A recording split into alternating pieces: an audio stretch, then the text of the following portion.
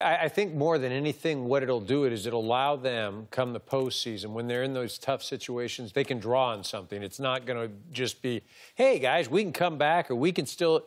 Do you remember what we did in June? Do you remember what we did in July? Do you remember that game when there were two outs, nobody on, and we drew five straight walks to win a ball game? Or the three consecutive walk-off home runs or hits? Actually, they were all home runs against Colorado. And, and so those sorts of things, you know, they're going to build.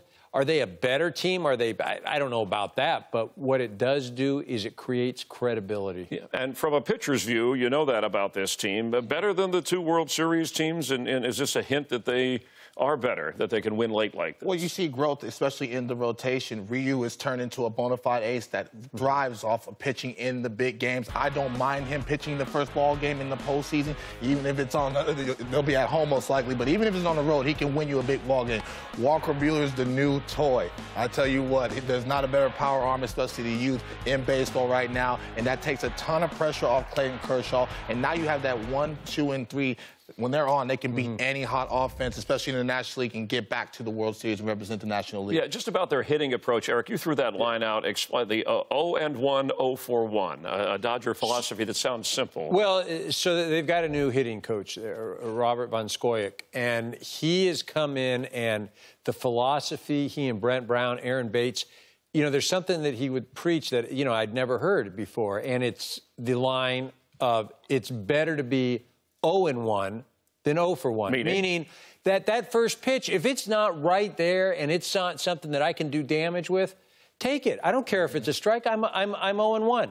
That's better than going after it and hitting some ground ball to short, and I'm running. Hitting you know, the pitcher's pitch. And yeah, and now you're now you're 0 for one. Mm-hmm. And so the whole thing about this philosophy is you're looking to do damage, and you're looking to do damage with one strike, two strikes. You know, it's not one of these things where I'm just up there to make contact. And it's proven uh, very successful. Yeah, whether you're Matt Beaty or uh, Barnes or whoever they throw, we know about the right. Pedersons and the, and the, and the Bellingers, but 14 game lead in yep. the division uh, for the Dodgers uh, nearing the All Star break. And this, let me first ask you, light a fire. And did you think Maddon was out of line, or you think maybe he overdid things a little bit to inspire his team? No, I think he was spot on, especially with the situation. He was smart enough to use the situation and use it as a tool to motivate this club. This is a tough division, and they're in a fight and they're in a race. I love Joe Girardi. I love Dusty Baker because they're the same way. They fight for the guys in the locker room, and we make a lot of money. We do a lot of great things, but you still want to know that your manager cares about you, and that's a good situation right there.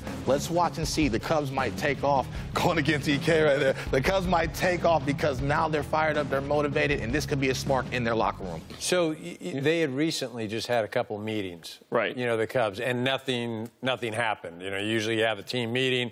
You usually do it before a team you're know you're going to beat and you're going to take. But, but was it one of those where they Nothing dress happened. up like a? Well, so this is this is well, this is again. he did this for a reason, right? Okay. But I I don't know that the Cubs take off, not because the Cubs can't take off, but the division is difficult, Absolutely. and there's a lot of parity. And I don't think you know you don't have the Reds to beat so, up. Yeah, on they're they're better than you know, and, and the Cubs are not. This isn't the team from 2016. I mean, you look at that starting staff and you say, well, where's my horse? Where's my Jake Arrieta? Or where's right. my Lester from 2016? Or even Kyle Hendricks, who had a 2.13 ERA back then. You don't have that, and you need that if you think you're going to just go dominate. Something. So the, you think they're the best in the d- division, but not by much. Is that is it's that how we're? This is yeah. going to be a fun division. The Brewers, down the, stretch. the Cardinals, and the Reds are going to be Pirates. Pesky. The, the Reds, Reds are, are, going to be. Well, I just said how tight the division is. What team? What team in the division didn't you just name? Uh, no, right. Brewer? I, my point, oh, no, no. My point is, you just went through every one of them. You didn't say the Cardinals, but you can make I, I a did. case for every one. Well, see, I wasn't listening That's to that part.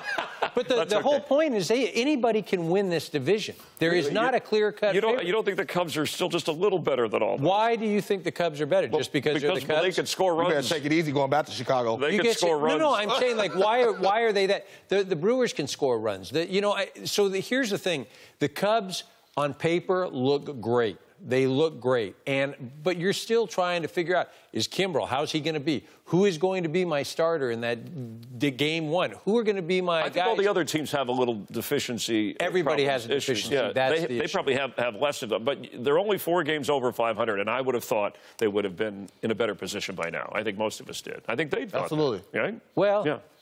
We'll, we'll see. see.